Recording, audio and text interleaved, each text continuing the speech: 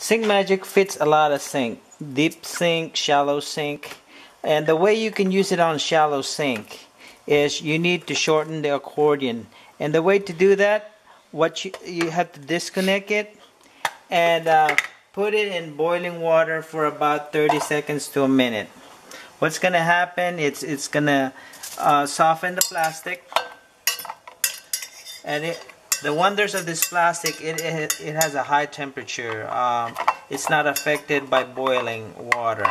Um, it has a top of 375 degrees Fahrenheit in, in, in uh, hot water. So don't be afraid that you're going to ruin uh, the, the plastic. So when the, the, the accordion starts um, heating up and it's even, what you're going to have to do is... Uh, is lift it up. Make sure you tip it so the hot water will drain.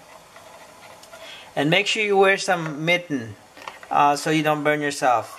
Uh, I've been doing this for a while so I know that uh, parts of it that's not hot. So lift it up and hold it hold the tip. Shake it a little bit and then compress.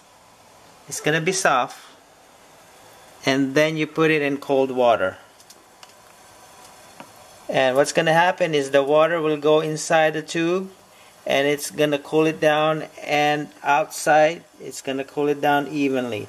And that will keep it in place. Now this will be always short unless you heat it up again. And uh, now it's gonna work for your um, shallow sink you're gonna connect it to the to the intake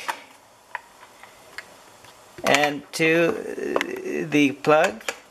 And now you have a shorty sink magic. This will work for shallow sink and this will work on regular sink and still you have the option to uh, to make it uh, shorter by flipping it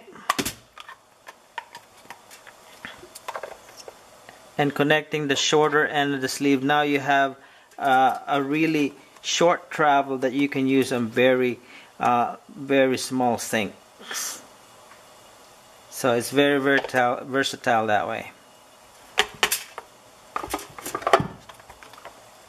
It's gotten about almost two inches shorter.